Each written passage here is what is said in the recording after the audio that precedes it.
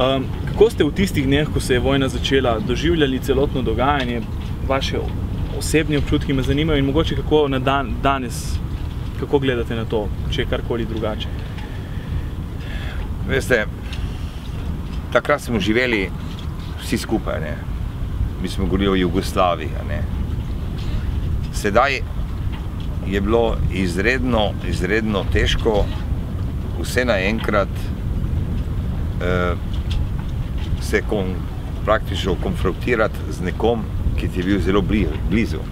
Z generalom Čadom ste imeli eno v bistvu zelo zanimivo anegdoto, oziroma m, točno s temi pogajanji, ko potem on je prišel v Koper. Ja, um, slučajno sem se nahajal v barikadi uh, v Črnem Kalu skupaj s kolegi iz policijske postaje Koper. In glede na to sem tudi osebno poznal general Čada, ki smo sodelovali pri varovanju državne meje za Republiko Italijo. E, smo ga dočakali in mimo barikad ga odpravili, ga peljali v Koper. Seveda imamo svojo vlastno spremstvo poroženo, specialcev. Kot general imamo to pravico, da je tudi zaščiten tako.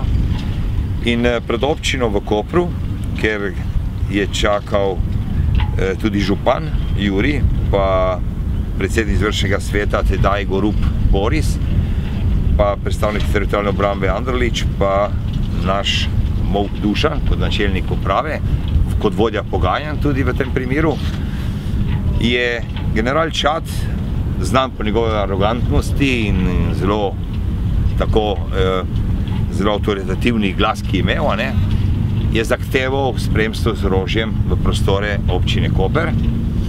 To seveda eh, Mok ni dovolil in potem je pristal s tem, da je, sem dobil tudi jaz ukaz ali nalogo, da tudi jaz odeležim teh pogajanj z orožjem, z avtomatom, to s Kalašnikom.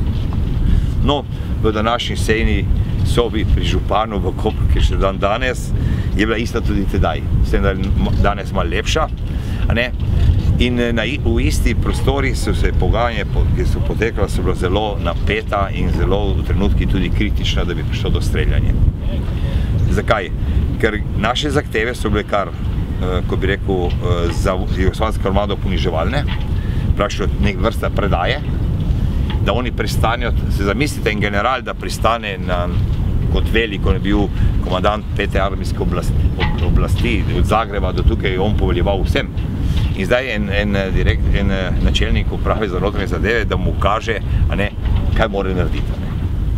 No, e, scenarij, ki jaz sem ga zvedel kasneje, je bil tak, da vkolikor čat ne bi pristal na teh pogajanjih, na teh 10-12 točk, ki so uradno tudi zapisane in jih imamo v arhivih še vedno, e, bi prišlo do aretacije oziroma do likvidacije tudi čada. Zato sta bila zadolžena dva naša kolega, a ne, kriminalista, na srečo do tega ni prišlo.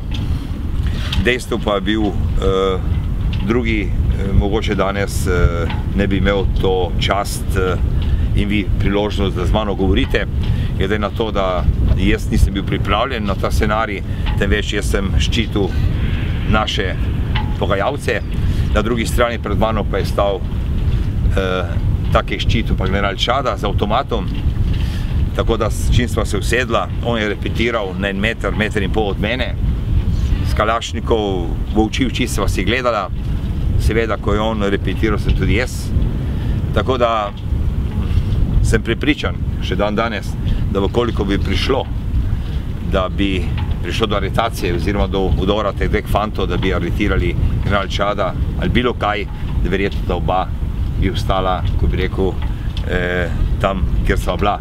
Ker nihče, ne jaz, ne on, ne bi bila, ko bi rekel, pripravljena, da bi se bilo kaj rekla, temveč samo reagirala, da bi sprožila Rafal enemu drugemu. Ne. Tako da sem to zvedel, da ta scenarij komaj po dveh letih, ko je eh, nekdanji župan eh, Juri Aurelio eh, v časopisu o tem pisal. Ne. Tako sem zvedel tudi resnica tega pogajanja na tem, na tem znamenitem kraju, kjer je občina Koper.